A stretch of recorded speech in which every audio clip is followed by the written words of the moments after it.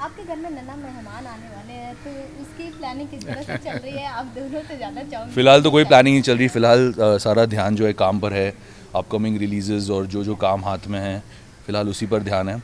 जब वो आएगा या आएगी तब देखा जाएगा क्या होता है। ओके सर आप क्या बताना चाहेंगे? भाई मेरे लिए तो बहुत ही खुशी का मौका है। ज़िंदगी है ये। तो अभी इनका वक्त आ गया है डैडी बनने का।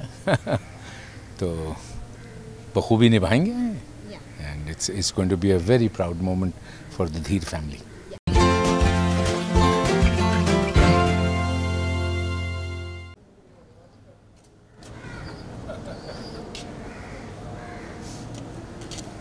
Sanisha.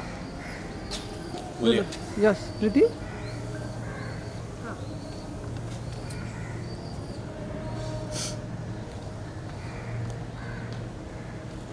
आपकी माइक कनेक्टेड नहीं है अभी तक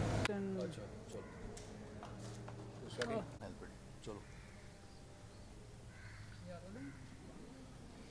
फर्स्टली सर सबसे पहले तो कॉन्ग्रेचुलेसन बोलना चाहूँगी क्योंकि सूर्यवंशी बहुत ही ज़्यादा अच्छा परफॉर्मेंस दे रही है और ऑडियंस को बहुत अच्छा लग रहा है। और जितना वेट किया था आपने दो साल का और उसका फल मिल रहा है क्या कुछ आप बताना चाहेंगे? मुझे लगता है कि अ, सबसे ज़्यादा श्रेय तो इसके लिए रोहित शेट्टी और अक्षय कुमार जी को जाता है क्योंकि फ़िल्म का नाम है सूर्यवंशी। उसका एक छोटा सा हिस्सा मैं भी हूँ। और बहुत खुशी होती है जब लोगों को काम पसंद आता है और जब फ़िल्म अच्छा करती है। तो जो 19 महीने हम रुके हैं ऐसा लगता है कि you know it was worth it at the end of the day और बेहद खुशी है क्योंकि बहुत लोग कहते थे कि लोग अब थिएटर नहीं जाएँगे। परिवार सहित जा रहे हैं इतने अच्छे नंबर्स आ रहे हैं फ़िल्म के। हालाँकि ओनली 50 परसेंट ऑक्यूपेंसी है सब थिएटर्स में। तो बहुत अच्छा लग रहा है to be very honest sir आप क्या बताना चाहेंगे? आपको कितना प्राउड फील होता है? भाई बहुत ज़्यादा प्राउड फील होता है। कुछ अरसे पहले तक ये मेरे बेटे जाना चाहते थे। अब मैं इनके पिता जाना चाहता हूँ। तो एक पिता होने के नाते इससे बड़ी बात क्या हो सकती है कि आपका बेटा आपसे भी आगे निकले। और मैं हमेशा यही चाहूँगा कि जितनी मेहनत जितनी श्रद्धा के साथ ये काम कर रहे हैं ये ऐसे ही करते रहें। सर अगर सूर्यवंशी की बात की जाए तो सबसे चैलेंजिंग पार्ट आपके लिए क्या कुछ रहा है ये जानना सूर्यवंशी जब स्टार्ट हुई थी तो उसका एक पर्टिकुलर लुक था। जो जो इस, जो किरदार था, एक बहुत ही साइलेंट और इंटेंस टाइप का किरदार था और उसका एक पर्टिकुलर लुक था। तो उसे अचीव करने में मुझे काफ़ी समय लगा, क्योंकि इतना हैवी वर्कआउट और वो सब मैंने काफ़ी टाइम तक छोड़ दिया था। तो उस किस्म के शेप में आने में वक्त लगा ऑब्वियसली फिज़िकली चैलेंजिंग था। और इस फ़िल्म में अगर आपने फ़िल्म देखी है तो इतने सारे बेहतरीन कलाकार हैं। उनके बीच सिर्फ़ दिखना नहीं था अच्छा काम भी करना था। तो ये भी एक बहुत बड़ा चैलेंज था। So I think overall mentally and physically it was a very challenging film और यू नो कोशिश यही थी कि पूरी ईमानदारी से उस किरदार को निभाया जाए क्योंकि ह्यूमन रिलेशंस ह्यूमन कॉम्प्लेक्सिटीज़ हैं तो उसको जितना हो सके सादगी से दिखाया जाए। बेस्ट मोमेंट अब तक क्या कुछ रहा सूर्यवंशी को लेकर? अह, शेयर करना चाहेंगे? आई थिंक सूर्यवंशी के सेट पर ही था कि uh, एक uh, समय आया towards the end of the shoot जब uh, पूरे यूनिट के सामने रोहित भाई ने यू नो मुझे गले लगा कर मुझसे कुछ कहा। पूरे यूनिट के सामने वो क्या कहा मैं नहीं बताऊँगा क्योंकि थोड़ा सा प्राइवेट है। लेकिन उनके मुँह से निकले वो शब्द मेरे लिए बहुत अहमियत रखते हैं। और आई थिंक वो एक चीज़ मेरे लिए सबसे बड़ा टेक अवे था इस पूरी फ़िल्म से। आपके घर में नन्ना मेहमान आने वाले हैं तो उसकी प्लानिंग किस तरह से चल रही है? आप दोनों से चाहूँगी फ़िलहाल तो कोई प्लानिंग नहीं चल रही। फ़िलहाल सारा ध्यान जो है काम पर है। अपकमिंग रिलीजेज और जो जो काम हाथ में है फ़िलहाल उसी पर ध्यान है।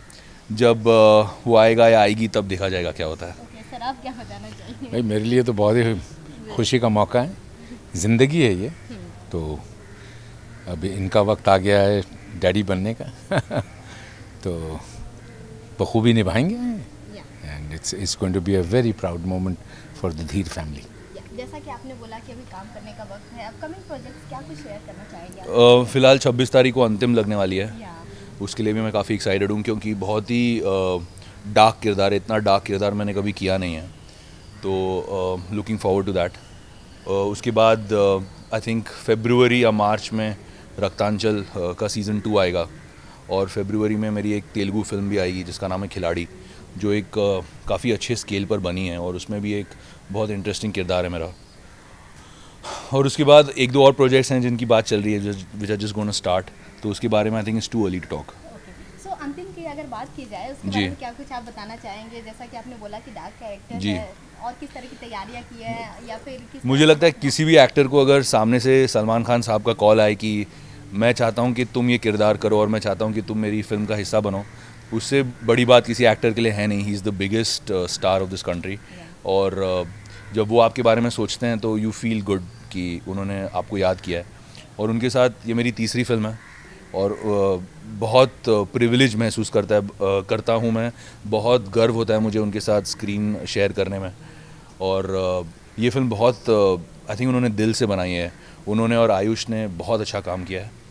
और यही आशा करते हैं कि लोगों को अच्छा लगे यू you नो सो अभी आप शिल्पा मैम के घर पे आए हैं तो क्या कुछ डिस्कशन नहीं, शिल्पा मैम नहीं मेरी नानी का घर है। हाँ नानी का घर? या हम लोग अब मैं अपनी नानी के घर आया हूँ। ओके सो क्या कुछ आप बताना चाहेंगे? हमारे यहाँ पे एक्चुअली एक फैमिली फ़ंक्शन है आज तो उसके लिए हम सब परिवार आए हैं। तो बस वही है।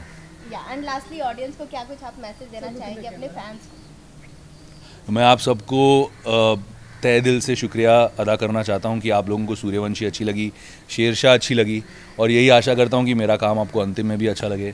I need your love I need your blessings and you know happy Diwali to you and your families and thank you so much thank you thank you thank you thank you thank you ma'am Thank you. Okay या